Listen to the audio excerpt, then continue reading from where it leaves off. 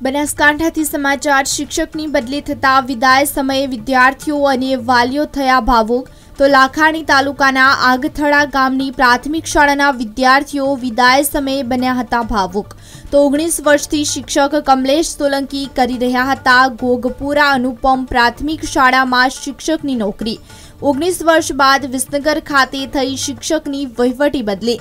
તો શિક્ષક કમલેશ સોલંકીની વિદાય આપતા સમયે વિદ્યાર્થીઓ અને વાલીઓ થયા ભાવુક અને આંખોમાં આંસુ આવ્યા. બનાસકાંઠાથી સમાચાર શિક્ષકની બદલી થતા વિદાય સમયે વિદ્યાર્થીઓ અને વાલીઓ થયા ભાવુક. તો લાખાણી તાલુકાના આગથળા ગામની પ્રાથમિક શાળાના વિદ્યાર્થીઓ વિદાય સમયે બન્યા હતા ભાવુક. તો ઓગણીસ વર્ષથી શિક્ષક કમલેશ સોલંકી કરી રહ્યા હતા ગોગપુરા અનુપમ પ્રાથમિક શાળામાં શિક્ષકની નોકરી.